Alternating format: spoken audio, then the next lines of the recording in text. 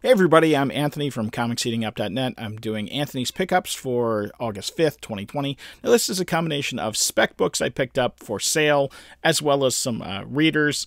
So this week was just a crazy heavy spec week. Um, so there's a ton of books that I picked up for the flip.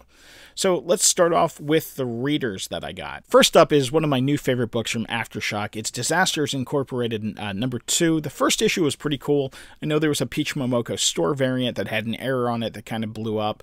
But overall, this has been a really good read and a pretty interesting premise. The next book is Teether number four. Now, Teether's been one of my favorite horror stories. This has come out of uh, Antarctic Press. It's been a really good surprise hit. We actually did a uh, store variant for number one um, early on, but loved the book. Black Cat number 12 has the first cover appearance of uh, Black Cat's iron suit. Uh, she's the Iron Cat on here. Of course, um, she first appeared in issue 11 in a cameo, but this is the first full appearance of the armor as well as uh, the first cover appearance. White Ash is another one of my favorite books. This is a Scout comic. Issue 5 is out. This is actually the variant I picked up. Love the book. It's pretty interesting. It's kind of a fantasy story um, set in modern times in a, in a small town called White Ash. If you haven't had a chance to check it out, definitely do so. Alien, the original screenplay.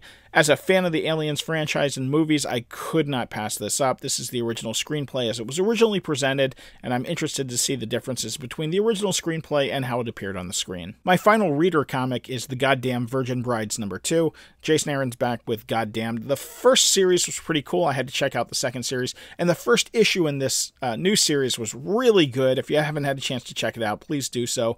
It's a great read. Jason Aaron definitely nails this kind of medieval world where the gods interact with the people, and it's just, it's really brutal. It's really gritty and really visceral. Well worth the read. These are the spec books or flips that I picked up, and I had a really good week this week. There was a lot of great books coming out, and I just couldn't wait to get my hands on it. Now, this is something that I found on the shelves while I was looking around. Uh, something is Killing the Children, number three. This is the regular cover. I picked up two of the FOC variants uh, like last week or so.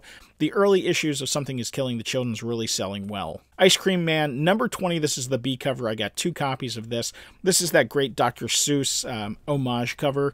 Uh, these are selling for 20, 25 bucks. So you know, I had to grab a couple of them just because I actually pre-ordered them, so I was happy to get them. Thor has been doing really well. The Black Winter has kind of reinvigorated the Thor franchise. Donny Cates has been doing such a good job that these books are going back for multiple printings. So I picked up a couple of copies of Thor number 4, second printing. I still have some copies of Thor number four, first printing that I found on the shelves, so I had to pick up these. These reprints have been doing really well. The second printings and later usually have a smaller print run than the original ones, so sometimes they can heat up. So anything like I said, Donny Cates and anything reprint um, has been doing exceptionally well. So I also picked up two copies of Thor number three, the third print. This is the Nic Klein character variant. It's just got you know his design for Thor on it.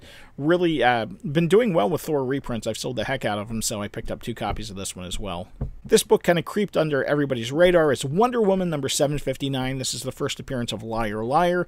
These are doing pretty well. They're going between 10 and 15 bucks, so I saw some on the shelves and decided to grab a couple of copies. This one was a surprise to see on the shelf. People actually moved this one out of the way to find the books beneath it. It's uh, Venom number 25. It's still a $20, $25 book. The big book of the week is obviously Death Metal Legends of the Dark Knight number one. These are going for 20, 25 bucks. I picked up four copies. I had um, pre-ordered some and I still have some coming in the mail, so I'm fully flipping these.